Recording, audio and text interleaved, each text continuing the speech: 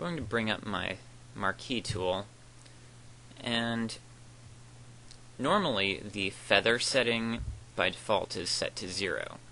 I'm setting it way up to 200 and going to select this general area of the photograph. It doesn't have to be perfect,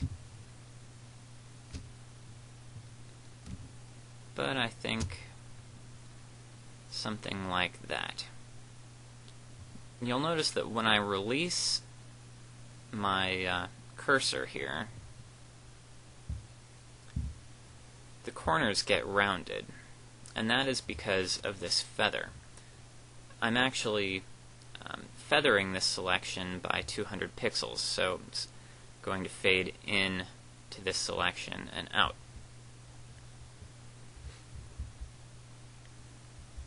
Now I'm going to um, select the inverse. What I want to do is select all of the area out here.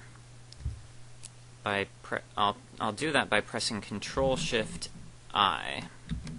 That gives me the inverse, and then I want to jump that selection up to an, a, second layer. So to do that, I press Control J. So now I have this new layer here that has just this outside image data, um, but your image doesn't look any different. To make it actually look different, I'm going to go to the layer uh, style here and change it to multiply. That's the blend mode. And as you can see, it really dramatically darkens the edges of this photo. In fact, it really overly darkens it. But to fix that, you just slide down the opacity on that until you get to something you like. And I think that looks a little bit better. A little bit better. Good. Alright, so what is left to do on this image? Well, um, of course it is still out of focus, and there isn't really much that can be done about that. If you don't capture a sharp image, you're never really going to get true sharpness back into it. You can create the illusion of sharpness by applying sharpening filters after the fact. So, I'll go ahead and do it on this image, keeping in mind that it's not as good as starting with a sharp image. So I'm going to select my background layer. Let me zoom in just so you can get a little bit better idea of what we're working with. If you take a look, you can see that there is quite a bit of noise in this photo. It sort of looks like film grain. That is digital noise.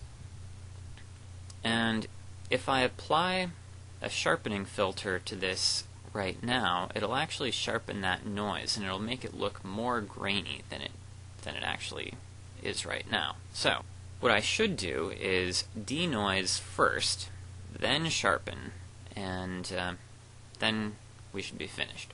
Now, since these next couple of steps I'm going to be doing are destructive, um, that is, they affect the actual pixels, what I'm going to do is duplicate this background layer um, so that the changes that I make are going to be on the copy of the background layer. And that way, if I mess it up, I can always just go back to my original background layer.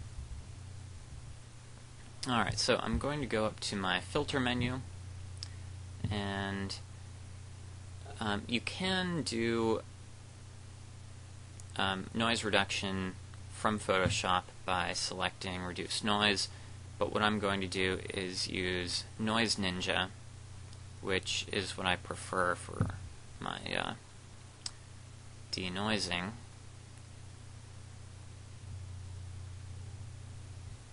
And I will leave that on the defaults, click OK, and I end up with an image that is a little bit smoother. Now on to the sharpening. I will pick filter, sharpen, smart sharpen, or unsharp mask if you don't have smart sharpen available. Unsharp mask, despite its name, is actually a sharpening filter.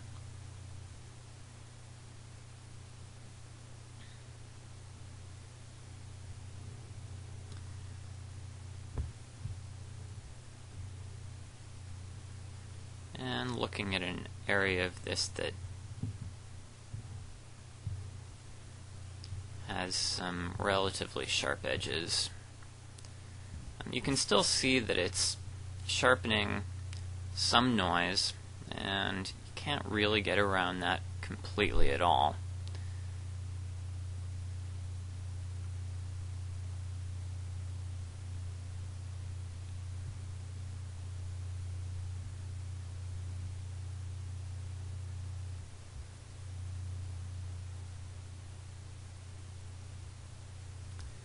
So I will leave the settings right around there, click OK.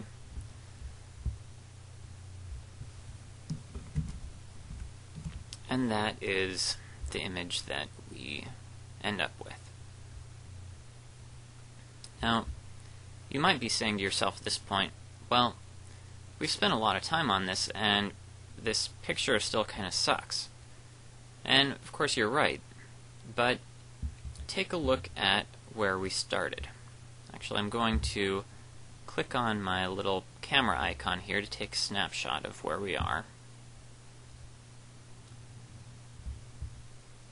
And that is what we started with. Let me move some of this stuff out of the way. So, you can now really see how washed out and drab looking this was. And that's where we ended up, which I think is a significant improvement. Maybe still not something that I would post on a forum that I would be proud of, but at least something that I wouldn't find quite so embarrassing. If we've gotten to this point and you look at the end result and you say, well, I wish I'd made that a little bit darker in the shadows, then the nice thing about having used adjustment layers, and one of the advantages of using Photoshop instead of GIMP, is that you can go back here to your curves adjustment layer and just say, well, let me darken that up a little bit. And simple as that. Or, since we used a separate layer for a vignette, you can say I'll raise the opacity on that vignette just a little bit. And you can uh, go back and play around with these adjustments as much as you want. Alright, I guess I will leave it at that. I ho hope that you found something useful in this video, and um, stay tuned, I'll post another one too. As long as I'm here.